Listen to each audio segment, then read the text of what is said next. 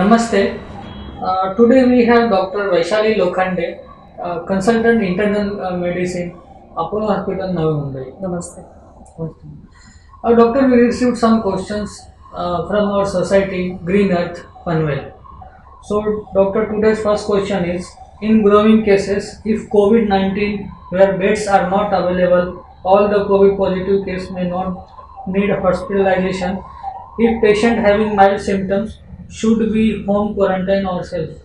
Yes, so uh, in fact, now the protocol is very much in place that people who are mildly symptomatic, people who are otherwise healthy, and young population who doesn't have any comorbidities, if the parameters are okay, their X-ray is clear, their blood work is okay, and their fever is very mild, the doctor can take a call about keeping these patients at home. But of course, this cannot be decided by the patient himself or herself. He or she has to consult a doctor either through physical consultation or through online consultation. They discuss the parameters, they discuss the symptoms. If everything is in the safe zone, yes, the patient can be managed at home with some medication under guidance and some monitoring is required. Uh, if it is mild symptoms of COVID-19, what medicine should we take during home quarantine?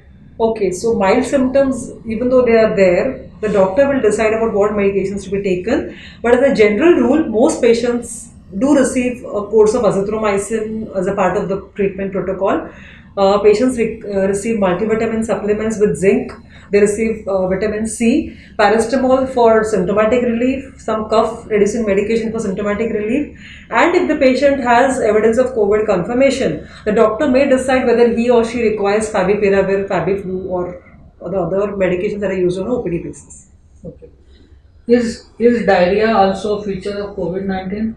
How do we distinguish ordinary diarrhea and diarrhea of COVID-19? Okay, so diarrhea has been noticed in some cases of COVID, and those symptoms are not very different from any other diarrhea. The patient may just have loose watery stools.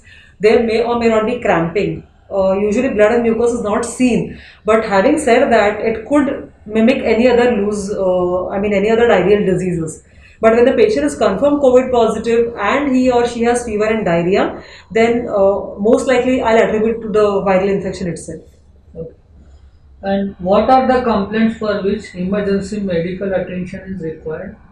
Okay, so if a patient is confirmed case of COVID and has been advised to stay in home quarantine for whatever indications, they are asked to monitor a few things. First and foremost, the fever should start getting better at home or it should be on the milder side.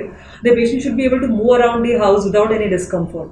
If the patient has is experiencing very high grade fever, if the cough is getting extremely worse, if the patient is feeling severely fatigued and is breathless and walking even few steps, let's say from one room to the other, or if the patient is feeling so tired that he or she cannot get up from the bed, these are all signs that the patient is probably going in for a complication or a severe presentation of COVID. So he should be seeing the doctor rather the COVID hospital uh, which is nearby his location, his or her location.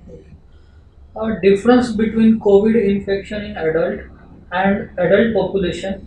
Can you explain the symptoms of COVID-19 which normally children have? Okay, so I think uh, what we are trying to see is what is the difference between adults and pediatric population in terms of how they present in COVID. I'm an adult medicine specialist. I do not deal with uh, pediatric population, but what I have heard from the various literature available online in the medical journals or publications or with my pediatric colleagues that I'm discussing, uh, children tend to have practically very mild symptoms or no symptoms at all, but they may be shedding the virus.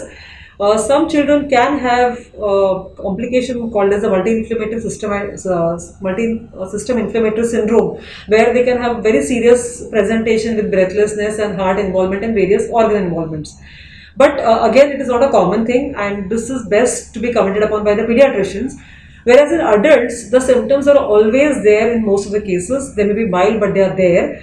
And usually, adults tend to come with the uh, serious complications on day 7 to 10 of the presentation, not as the primary presentation in most cases. Usually, if it's if it's if the patient has missed the symptoms, then he or she may report to the hospital with serious ones.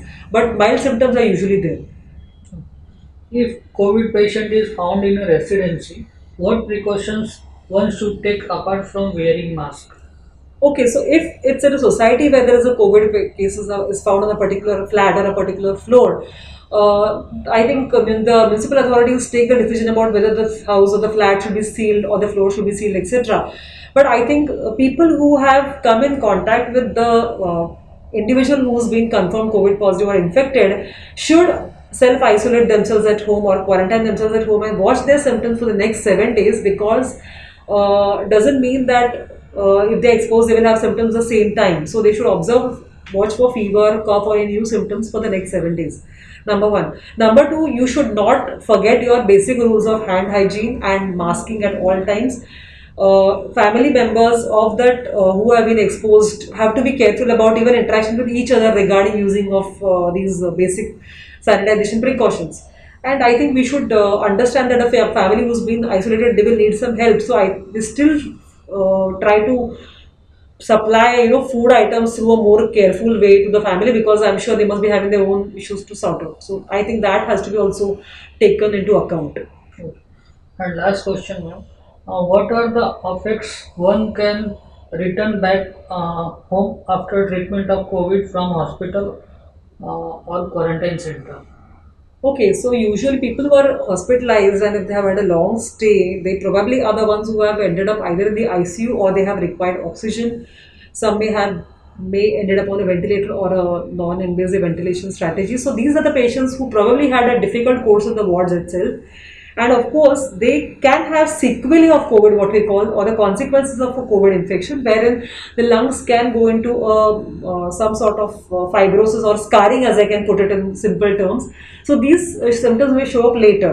Of course, you will realize when the patient starts feeling breathless despite having reached home and the oxygen saturation is not improving to normal range.